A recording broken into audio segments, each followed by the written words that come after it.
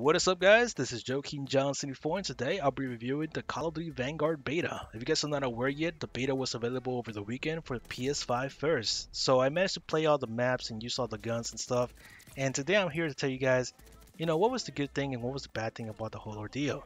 But uh, I like to talk to you guys first about the bad things because I think this is where everybody could agree on. So one of the biggest bad things of this whole game of the beta was that the spawn system was terrible. It was on every single map, not just Hotel Royale, because I know that's the one that got mentioned the most, but every single map had the same problem. Enemies and teammates were spawning on the same single spot. It's like they didn't put enough spawn points or something, but it was bad. It was really bad. People were just hiding in the corner and they were just getting large change of kill streaks because everybody just kept on spawning in this one single spot, especially in Hotel Royale. It was that insane. If people had flamethrowers and just stand behind that spawn point, they're gonna get like a hundred kills at that point. it was insane. Maybe the developers were just doing this for a meme. Maybe they're just doing it for reactions. But fix your game. Do not keep this in the final product, please. So uh, besides the spawn system, the next big problem was that uh, that was pretty much mentioned a lot on Twitter is that the sound was off, which is true. I mean, I don't even use the sound through my headset. I use it through, through the TV. And let me tell you guys something. Yes, the sounds are too low. Even with people not using silencers or subsonic, and they're just using, you know, the compensator and stuff, you cannot hear the shots. That's how low it was. So besides being low, also there was another technical difficulty along with it, which was that the sound would just automatically or randomly just pop off like it would just max volume the whole thing and you just hear like a bunch of static and the volume sounds like it's a meme you know like one of the static memes i forgot the name of it. When you increase all the bass all the way up that's how it sounds. It sounded so bad. I'm like what's going on here? First it sounded like one second it sounded super silent and then all, all of a sudden it just sounded like i'm about to blow off the roof. So so yeah the sound was a big problem in this game. Um, it needs to be fixed. I've never experienced this before in call of duty but uh, yeah, it's one of my minor complaints, but for the rest of the people who bought expensive headsets just to hear your footsteps from a mile away, yes, it's a big problem for them. So, um, I mean, I don't mind to be honest. I usually play my TV on low, and I don't even hear I don't hear anybody, and I still get a bunch of kills. So, um, so yeah. But for those people who buy headsets, yeah, it will be a big problem for you. So hopefully they do fix it though. I'm I'm not saying don't fix it. Like yeah, they need to fix this part. Another thing that was a big complaint was the map Red Star. Now the map Red Star is a snowy map with a bunch of buildings around that you can go into, and uh, there's this one big camping spot on the rooftop of Red Star, and um, yeah, it was abused by a lot of people. Literally, like three, like around three enemies would just be up there protecting the climbing stairway and then the actual stairway, and then the other one would just be looking through, through the, you know, out the window and stuff.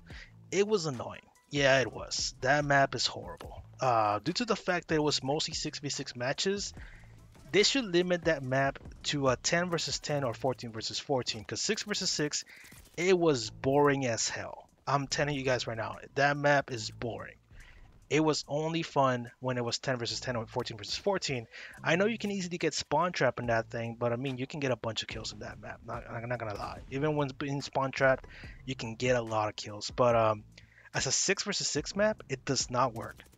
It's too boring. It's too large. This is like another case of Stonehaven from Call of Duty Ghost. If you guys have ever played Call of Duty Ghost, the largest map in that game was called Stonehaven. And 6 versus 6 does not work in that map either. It was boring, man. Because you can barely find anyone.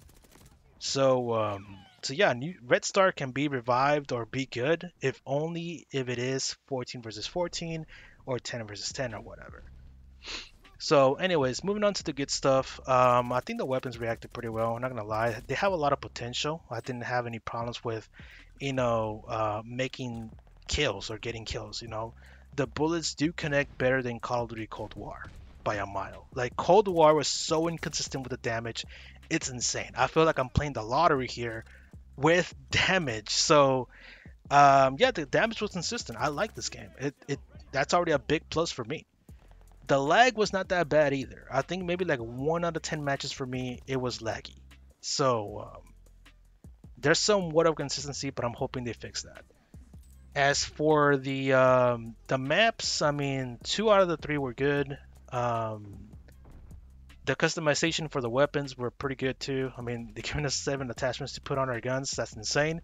But to be honest, some of these weapons do not need that many attachments because they will affect their accuracy by a mile. So you're good with five or four, kinda. So uh, test out your guns, guys.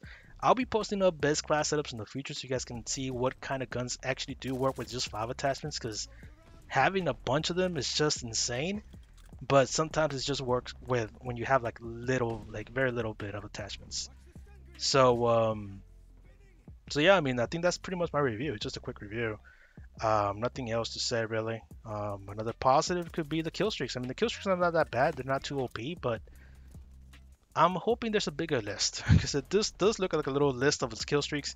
So i'm pretty sure we're missing like around five or something. So hopefully there's more kill streaks than what we got right now. Um so the controls and how the player moves, it's uh, the same thing as Modern Warfare, to be honest. I mean, that system, that movement system was not as bad as you think. Like, it's actually pretty decent. It looks realistic, so I don't mind. The, the time to kill is actually pretty decent. It's not as bad as Cold, Cold War when it was just, uh, like I said, it was like a lottery. So, um, pretty much that's my quick review. Hopefully, you guys enjoyed it. The beta, I rated like a 7 out of 10. I think it could be better. The spawns really killed it and uh, the weapon saved it. But uh, we'll see what's up in the final product. So that is it. Leave a like, and I'll see you guys later.